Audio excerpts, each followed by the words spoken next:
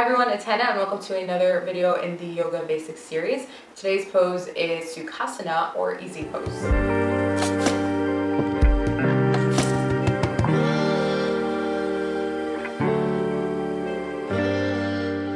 So easy pose is a super foundational yoga pose. A lot of people practice yoga simply to be able to sit in this position and meditate for longer. So as you can imagine, this pose, I guess, then is a little bit more difficult than it sounds. I found that a lot of people find it hard to sit like this for long periods of time, uh, especially in my class when someone has just started yoga.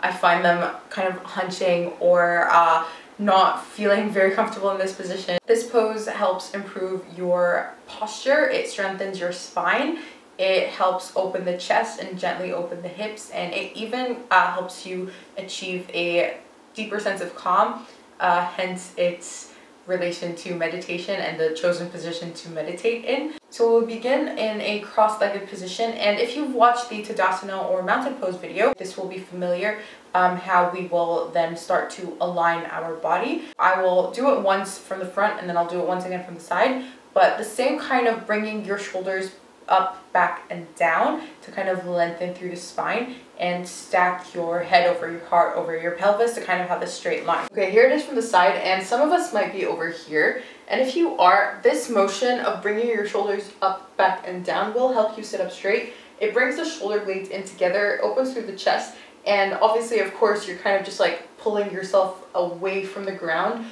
rather than having your shoulders you know, come closer to the ground. So I think the visualization of this whole motion really helps in achieving the posture correctly. Another thing to check is where our eye gaze is. So like mountain pose, our eye gaze is parallel and we are just looking straight ahead. This once again helps us kind of create the correct position of our neck. So you're not looking down on the ground and you're not creating the neck by looking upwards. You're just kind of looking straight ahead and you're creating this natural line with the neck and the spine. And the whole stacking that I mentioned earlier, we're kind of here, uh, we're in a line rather than being here. So this isn't, our center's off and being uh, over here is also not in center. So when you're here, pelvis, heart, head, it's all in a straight line, it's all centered, uh, and it's not really spread out between your front and your back. So uh, this is a pretty deceiving pose because I may look like I am just sitting there doing nothing, but it's not true. It's an active pose. So if you're in the pose with me, uh, from where we are, we are grounding with our sit bones to the ground. So we're heavy from our hips and our sit bones and we're grounded. But think of a string pulling you up. So this is really firm to the ground, but the top of our head, the crown of our head is really trying to push its way up to, push sounds forceful, um, reach its way up to the sky. Uh, so we are sitting up straight and this visual visualization, I think of like a string pulling us up, helps us, I believe, uh, sit up taller and straighter rather than just like sitting here and we're like really compressed, but like really sit up tall. Your eye gaze is still straight ahead. We're not reaching with our eyes, we're, we're straight ahead and it's just the, the top of the head that's reaching upwards. So it helps you sit up straighter and your back is working to keep your spine straight. Your hips are grounded and they're gently opening. So there's more going on than meets the eye. As for where your hands go, you can have them open upwards or you can have them uh, downwards. You can play around with that and see what feels more right for you. In yoga, we tend to say that if your palms are facing upwards, it's a kind of symbol of uh, being open and receiving. And if your palms are facing downwards, then you are grounding. So just think about that and find how you would interpret that and uh, just play around with it. We are, of course, breathing in deeply. Our breath is steady. If you'd like to soften the gaze or completely close your eyes, you could. And just breathe. So let's, let's try it out. Quick checklist. Am I seated correctly? Is my posture straight? Are my shoulders back down and away from my ears? Am I looking straight ahead? Soften the gaze or close the eyes and let's try it for five breaths.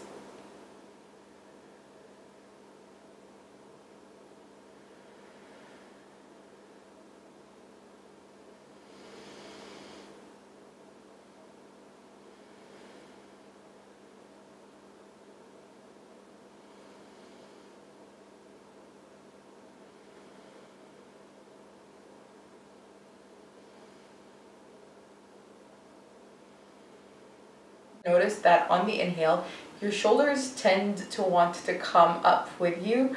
Um, so just kind of bring them back down and maybe consciously decide that you're staying down as I inhale and exhale. If this pose doesn't feel too great for you, if you have any sort of discomfort in the back, the hips, the knees while doing this position, you can try playing around by sitting the back of the sit bones on uh, either a thickly folded blanket or some pillows or a yoga block and play around with the heights just to kind of see if you can maybe sit up a little straighter that way or if it can alleviate any discomfort or any pain that you might be feeling. Or if you are having trouble with your posture with your back sitting straight uh, you can try to practice it against the wall. So you basically just come to the wall with the same cues of sitting up straight and bringing your shoulders up back and down and feel your shoulders and your back against the wall and it'll just help you establish the whole straight back foundation. Just make sure that you're really flush with the wall so that we make sure that we're sitting straight and not really bending our upper back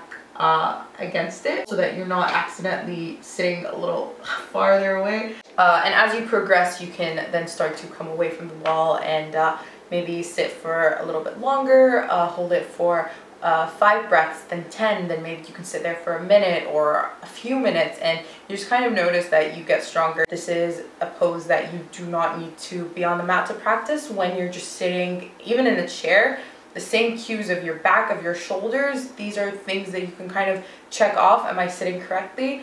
Uh, is my posture okay? It's just a great example of how yoga can kind of come with us off the mat as well. So that's it for easy pose. If you guys haven't seen the mountain pose video, I will pop it up on the screen and the description box below if you'd like to check that out. And if you enjoyed the video, don't forget to like it, comment, share, and subscribe. And I will see you guys in the next one.